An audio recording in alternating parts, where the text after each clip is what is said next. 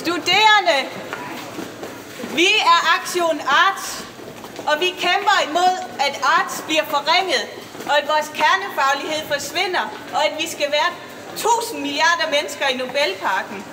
Støt os! Hurra!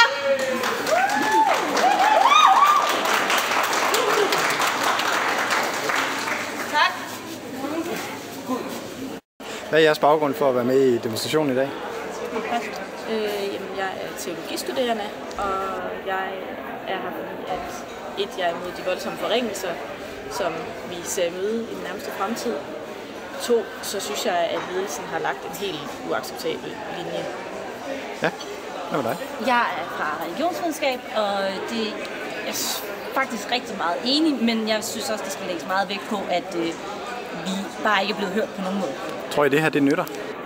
Alle de små ting nytter. Altså, vi har jo fået at vide, at øh, der er blevet sat de her små grupper rundt, som skulle snakke om, at, øh, hvad, hvad vi gerne vil have gennemført og sådan noget. Ja. Dem bliver der stort set kun hørt på, når der er en større gruppe bagved, der gør noget lidt mere voldsomt. Ja. Som, øh, som ikke skal være lige så, øh, hvad hedder det, øh, politiske i deres forhandlinger. Vi, vi, kan, vi kan tillade os noget mere, end de andre kan i de små grupper.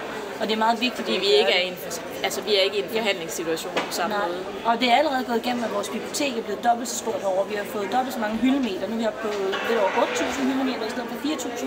Ja. Og det er stort set hele vores bibliotek, hvilket er meget vigtigt for teologi og religionsvidenskab, for vi kan ikke finde ting på nettet. Så det er meget vigtigt for os, at øh, de forringelser de stopper. Kommer der flere øh, af den slags demonstrationer i løbet af foråret? Ja, af de her små happenings, ja, der kommer der mange forhåbentlig. Det handler selvfølgelig om at mobilisere menneskerne, men der kommer den største, jeg tror det er den 27. april, ja. Der kommer der en stor en, så alle de her små nogle, det er for at vække folk. Ja.